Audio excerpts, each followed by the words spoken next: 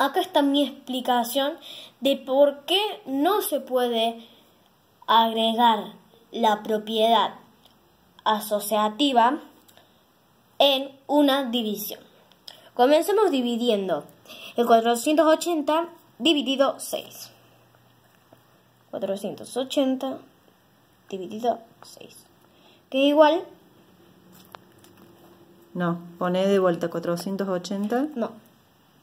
480 dividido 6. Ahora sí, 80. Lo dividimos por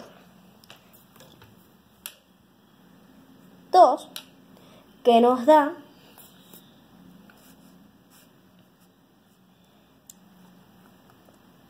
40.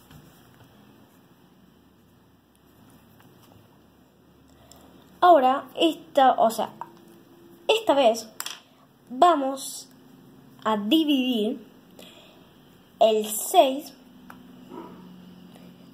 dividido 2, que nos da 3.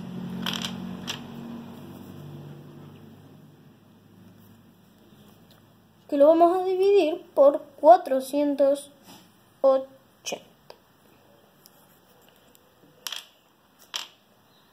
Que nos da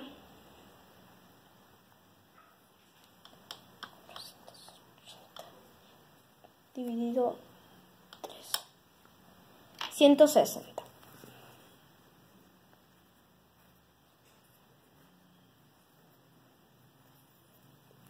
Y ahí quedó mi explicación de por qué no se puede agregar la propiedad conmutativa, no, asociativa, perdón, en la división.